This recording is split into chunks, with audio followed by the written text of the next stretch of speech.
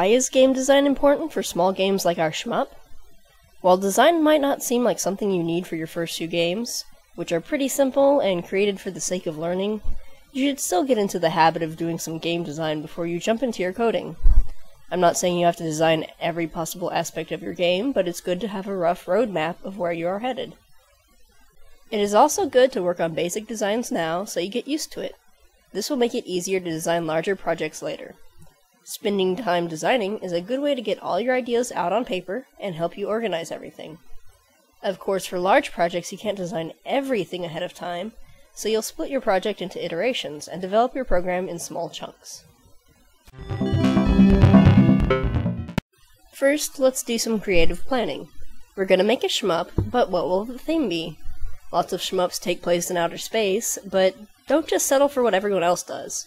What other settings are there? Instead of a spaceship, you could play a witch on a broomstick, a dragon, a pirate ship, a rabid hobo, whatever.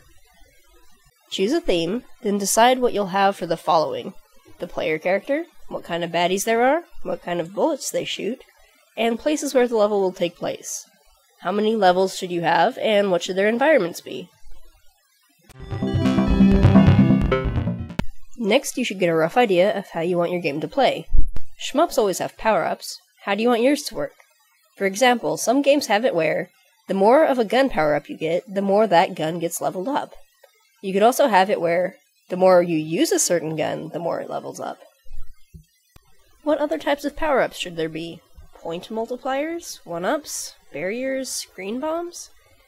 What will your life system be like?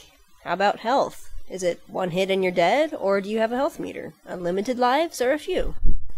Will the player lose all their weapons when they die, or will their guns just get downgraded a bit? Some other things to think about are how many baddies you'll have, and what kind of attributes they'll have, such as a movement path as well as the path that their bullets take. For example, their bullets could hone in on the player, follow a sine wave, or just fly straight. A particular type of gun might shoot more than one bullet, like a spreader. I have a hard time making a game using colored squares as placeholders. If you're like me, you'll probably want to plan out what assets you want ahead of time. You don't have to plan out every single graphic or song you'll need.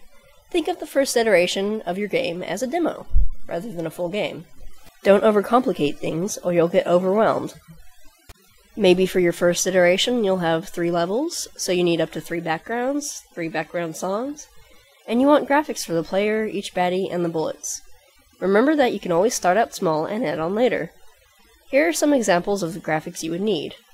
For a shmup, the player and baddies generally only need graphics for one direction of movement. One set of sprites you'll need are the characters, both the player and the bad guys. For characters, you'll need a moving animation loop, a death animation, and an animation for when they shoot. Another thing to plan are the types of bullets that will be shot.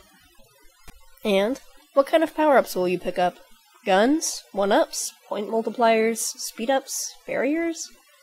Remember that you should make the power-ups shiny and something that the player wants to get. Maybe floating up and down slightly to get the player's attention. Or if you want to confuse your players, you can make the power-ups look like death poop. And then it'd be like, surprise, you get a laser rifle! What about the environments? What should the background be? Space? Sky? Water? For this tutorial, I'm not going to cover how to add tiled terrains to your maps. This will be for a later tutorial, and I'm wanting to keep this pretty simple for now. So, just plan out what kind of background image there will be for the levels. Finally for the graphics, plan out what you'll want for the title screen, game over screen, and maybe a winning screen. Remember that you'll need graphics for the basic menu on the title screen such as play, help, and quit. As for sound and music, you probably won't need many sound effects, but a few examples are explosions or death noises, bullet shooting noises, power up, gaining sound, and the song for the title screen, game over screen, and the various levels. We'll go over how to create our levels in a later video, but that's another asset you might make ahead of time. That's all for the game design planning now. Next I'll go over code design.